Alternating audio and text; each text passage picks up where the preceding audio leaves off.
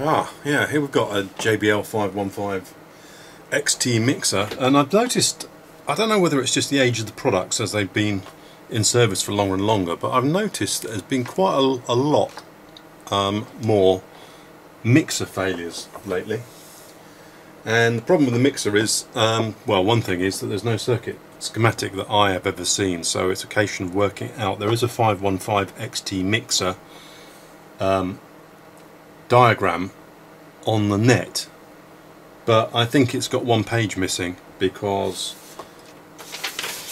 um, ICs and uh, U5, U8, U9, U10, U11, U12, U18 are on this board but they're not on the actual schematic that's available online and I've never seen a full schematic for this so it's a question of poking about and wondering what's going on and I was just thought I'd just give you a couple of pointers because I've just repaired this one. And they use the um, 33078 op amp M33078 Texas or uh, Onsemi make it a number of people make it. It's a 16 megahertz plus or minus 18 volt fairly power hungry um, op amp. This is turned on at the moment so I'm not touching that side. But they're warm um, and there's chips on both sides as well so you've got a double-sided um, thing going on here. And it seems the input side of the schematic you'll see it online is correct. But up to the point where um, the pinout on this connector is different. Um, 1 2 3 4 5 1 2 3 4 pins 5 and 6 are the LF drive and I can't remember the other ones but um, yeah and you can either get several faults with these. Either it's noisy distorted or there's no sound at all or strange effects going on and the most disturbing thing about this mixer board is that um, if this thing goes completely haywire and starts sending the incorrect signals up this cable, differential signals up to the LF power amplifier, it can take out the LF power amplifier as well, which in fact is what happened on this one. Um, I saw the normal LF power amplifier faults and I didn't check the mixer and I plugged it back in and it worked for a while and then went unstable, blocked power amplifier with loads of distortion. And you know if the signals aren't for the LF power amplifier on the servo, the DC DC um, uh, switch D class for the D class switching uh, control circuit down there, if it doesn't receive what it's expecting in the waveband that it's expecting, i.e low audio with low noise, if you start getting oscillations and HF and other stuff going up here, it destroys the output devices. Okay, so I repaired this once, I've repaired it again, it's all working now. But just to talk about this board, I'm guessing everyone knows what they're doing, um, will find this boring, but for the guys that have got a problem, is that these chips are about um, 40 to 50 cents each, the Texas ones. And they are all the same on here. And Fault finding turns out to be um, it's, it's, not a foolproof method of finding out what's going on, but it is a pretty good method of having a guess. And if you buy a pack of 10 chips, then you're likely, if you change some of these, and I'll show you which ones in a minute, just fix it, okay? It's, it's nearly always, we have get the occasional socket and pot and thing going, but the general, I'm talking about the electronic faults at the moment. Um, that point there, you can see down there on the end of that capacitor is 0 volts and that's where I've been hooking my scope probe. So that's just a wire I've soldered on which I've got to take off in a moment. But where are we? Yeah. So anyway um, on these chips you've got uh, two inputs. So you've got pin 1 is, is, is minus 15 or minus power supply rail and pin 8 is the positive power supply rail. So the first thing to check is that you've got the supply rails and it's supposed to be minus 15 and plus 15 okay if it reads something else like plus 22, plus 23, or minus 22, minus 23, it means the um, 7815, um, 7815 or 7915 regulators have blown up on down the end on the power board because it, it's regulating comes up here. And I have seen them running with a shorted plus 15 volt rail and um, still going but behaving strange, not sounding quite right and it turns out the regulator had gone down there and it was shoving up plus 24 and minus 15 instead of the plus and minus 15 for the um, the two two rails okay so just check you've got the power supply um, if you see one of these chips burnt out um, they're quite power hungry. When they go short, they can start demanding a lot of current. And it's supposed to be regulated by the 7915 um, or the 7815 regulators, plus and minus regulators. And they're 1 amp regulators. So you can get up to 15 watts going into the chip. But what seems to happen is that a chip will go short, start demanding too much power, and burn the regulator out. And when the regulator goes short, it then fries up these chips. So, you know, and occasionally when you see one that's been cracked open or it's got physically burnt, you need to take the screws out, take the collets off the jack sockets and take it off and have a look on the other side. Because there's easily as many chips on the other side as well. Is that um, when that regulator shorts, these go up in smoke. But when you change the chip, it usually starts working. Okay, so if you've got an electronic fault on these, it's usually just one chip. Right, so which one is it? Um, you, have got a common input, and you'll see this on circuit diagram. There's a common input goes to a mixed signal. So up post the mixer, the three uh, volume controls on the back, and the three inputs. Post mixer, it's all common, okay, but it splits up for an LF compressor and an HF compressor, filtering out the two channels to suit the speaker enclosure, and also molding the signal to give the best sound you know, based versed on the dynamics of the speaker enclosure and the response of the speakers. So it's part of the nice sounding packages in here obviously. It's not a straightforward mix it and send it. It's a mix it, massage it, split it into two channels and then send it. So, um, but there's no circuit diagram for the LF compressor at all online. Yeah, so here's the data sheet for the MC33078. It's usually the DG one actually. You have to be careful which one you order. Obviously got the right package. It's SOIC-8 package. But you can see the spec of it here. You can freeze frame and have a look at that if you want. But I was just going to scoot down to um, the package. So there's there's the actual package there. If I just zoom in on that so you can have a of a better look. Um, and how can I shove that over there? Can I shove that over there? Get that in the middle. There you go. So that, that's the pin out of that chip. You've got the uh, minus rail pin 4, plus rail pin 8, and then the two differential inputs are here. The output is pin 7 and pin 1. All right. And through the feedback network, generally in audio circuitry, I'm not talking about instrumentation control, the, the job of this is through a feedback network. The theory that works on that the gain, the open loop gain, is pretty much infinite obviously it isn't infinite, but for all intents and purposes, regard to the signal level, you've got a very linear feedback network which gives you very low distortion.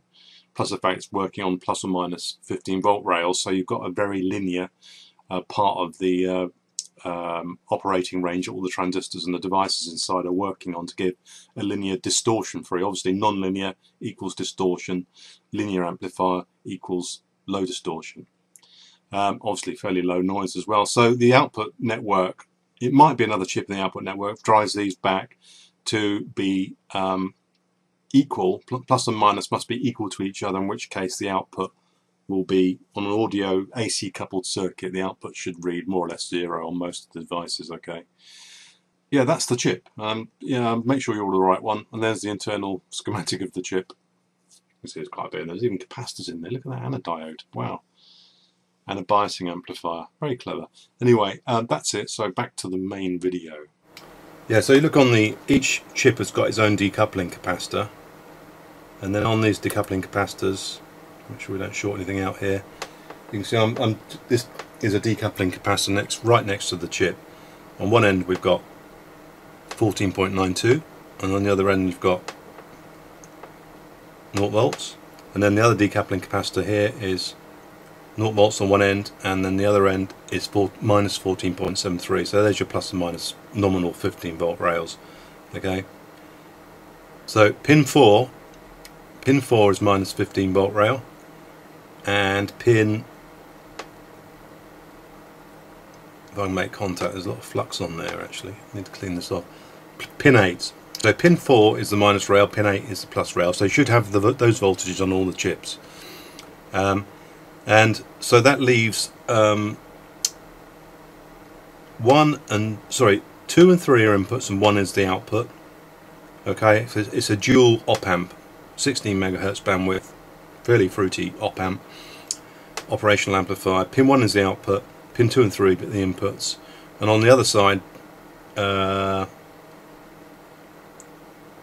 pin 7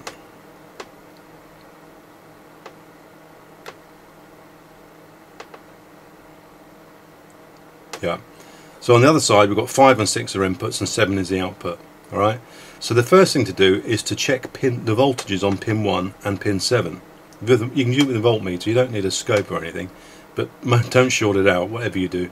But um, just you should have zero volts on pretty much all of the chips alright pin 1 and pin 7 should read zero volts. So if the op amp goes screwy um, the way they work is by the output drives the inputs back to be balanced the plus and minus inputs the inverting non-inverting inputs. It drives back through some kind of feedback network feedback network to the pins so that the pins automatically want to drive themselves so that they're equal so that you've got zero output. Now this is not foolproof because some of these um, have other operational amplifiers in the feedback loop so it's a closed loop type operation. So if one goes it can drive the voltages out on another right? But you don't really need necessarily to worry about that because um, you know change two chips or three chips. You know if you have to change four you're talking about a couple of dollars in cost. And they're easy to change. They're only 8 pin and they're not fine pitch okay? So just go along and meter the chips pins pins 1 and pin 7 to ground. And if it's plus 15 or minus 15 or 9 or 10 volts or something. It's not near zero. Is a pretty good indication that that chip is blown and just change it which is what I did for this one. And I um, just metered those pins and found that two of them weren't reading right so I changed them and it fixed the problem. But I've repaired quite a few of these and now I can just skip through and just measure the voltages on pin 1 and pin 7 and pretty much guess as one of those two chips just change them. And you'll be surprised and out of here if you feed into the LF with all the in the main input with all the inputs uh, set to 12 o'clock i.e. halfway half gain bass flat treble flat with a 250 millivolt input at 100 hertz you should get something like uh, nearly on getting on for a volt out the differential outputs on pin 5 and 6 of this right and if you don't then uh, there's something wrong. But yeah just skip through and find the ones that aren't working and then scope the output. And you should get something like twice the input um, twice the input uh, voltage peak to peak on the output when the thing's working. And then you can change the I've got a frequency generator up there. You can change it to the kilohertz range for the HF channel. But I just thought it, you might find that interesting to help you diagnose and fix these things. They are I guess, relatively easy to fix, but don't deliberate on trying to work out what the hell's going on without a circuit. If you just check the um, the output to voltages on pins 1 and pin 7 are pretty nearly zero and if you see anything that's not zero then change the chip alright and then if that doesn't fix it change the next one and you'll find although obviously there are something like 18 or 22 chips on there. Um, the ones that have blown in my experience have always got um, the wrong voltage on pin 1 or pin 7 so it's a good guide. Clearly you need to make sure that the input socket isn't damaged. Um, that's this thing here and these. By plugging it in and just checking the uh, input signal is present because if there's a mechanical failure inside the connector then obviously you won't get any output from it. But um, yeah, I don't know whether it's just the age, but as I say, they just seem to be failing lately. Um, I've seen more mixers this year nothing I've ever seen before, apart from ones where the input chip is blown, you know, something that's come down the cable. But generally, they're fairly well protected and okay. But I thought you might find that interesting because uh, they're not that uh, daunting to repair and with a bit of soldering skill you can change the chips so a quick uh, it's, it is a kind of thing you can probably fix you've got a good chance of fixing it with just a voltmeter and a soldering iron and a little bit of soldering skill so there it is um, put it out there for you guys that want to know it so I hope you like that if you want to subscribe to the link down here that would be appreciated for you JBL repair people. Anyway, that's good. So signing off. Good luck with yours.